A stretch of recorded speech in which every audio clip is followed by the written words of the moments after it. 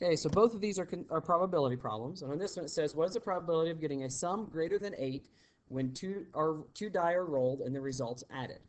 So um, the first thing you have to remember is when you do probability, there's two ways to do probability. One is you got two separate events. Well, this these events are not separate because if you roll a 3 on the first, then you have to roll a 5 on the second. And it's very confusing. So on this one, you have to use the definition of probability, which is the probability of something is always equal to the uh, positive outcomes over the possible. Well, if you roll two dice, there are always going to be 36 possible outcomes. And so we know that when we do our probability of this happening, which would be sum greater than 8, we know it's going to be over 36. Right, because there are 36 possibilities. 6 times 6 is 36.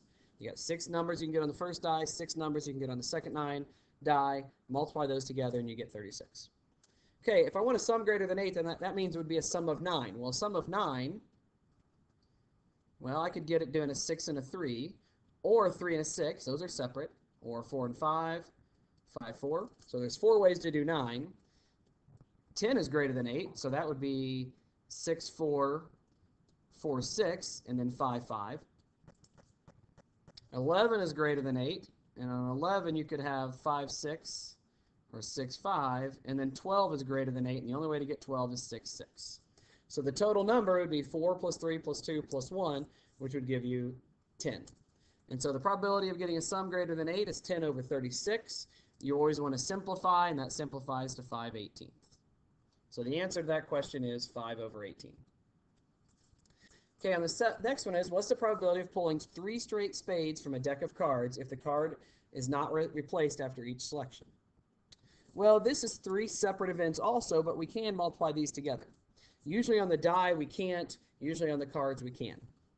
So on this one, the probability of drawing a spade on the first is 13 out of 52, because there are 13 spades, 52 possible, but we've talked about that in class, that's just one-fourth. The probability of doing it on the second, the second pull, well, now there are 12 spades left over, and 51 cards, so 12 out of 51.